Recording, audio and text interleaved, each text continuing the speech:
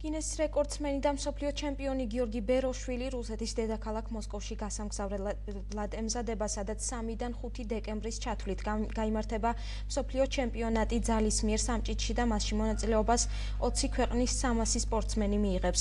არაერთი სპორტული შეჯიბრის გამარჯვებულს იმედი აქვს, რომ საქართველოში ამჯერადაც კარგი შედეგით დაბრუნდება. მოსკოვში 3-დან 5 დეკემბრის ჩათვლით ტარდება მსოფლიო ჩემპიონატი პაუერლიფტინგში. სადაც მონაწილეობას ვიღებ მე და კიდე სხვა ორი ქართველი სპორტსმენი.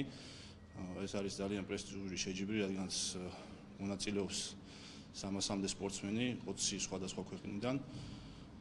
უკვე დაახლოებით 4 თვეა რაც ამ ჩემპიონატისთვის ვემზადები და ვიცი, ველოდებით კაი შედეგებს.